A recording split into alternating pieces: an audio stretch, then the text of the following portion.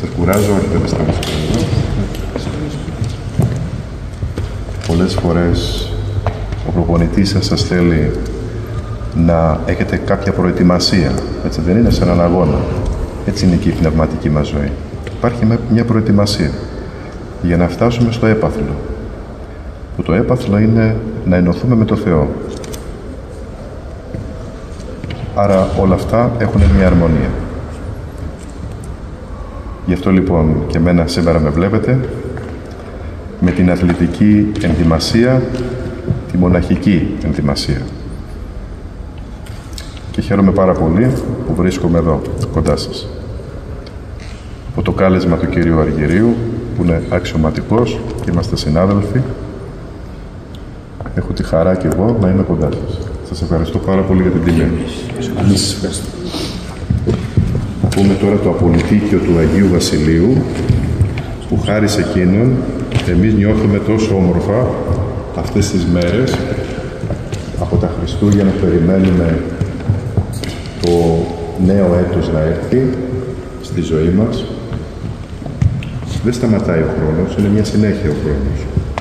Λοιπόν, και αυτό λοιπόν το σφραγίζει και ο Μέγας Βασίλειος με την ε, Βασιλόπιτα. Θα ευλογήσουμε τώρα.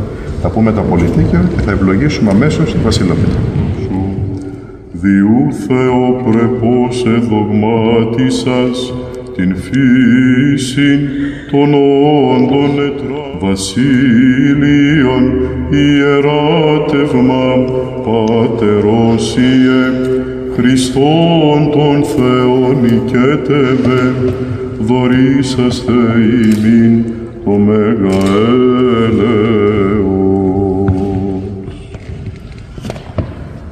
Στο όνομα του Πατρός και του Ιού και του Αγίου Πνεύματος. Θα έχετε ένα ευλογημένο έτος, πάντα ο αγώνας σας να είναι καλός. Και εύχομαι πάντα νίκες. Και αν χάσουμε, και αυτή είναι μια νίκη. Όταν χάνεις, αμέσως η επιθυμία έρχεται για να νικήσεις. Σας εύχομαι κάθε καλό, ευλογία και χάρη του Θεού. Θέλετε να κόψουμε μαζί; Και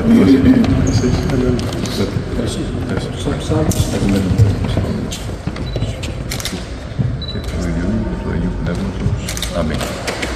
Σας ευχαριστώ πάρα πολύ για την τιμή. Επιταγή από το κατάστημα Πάρα πολύ. Ιωάννα Βοζή. Ευχαριστώ. Πάρα καλά.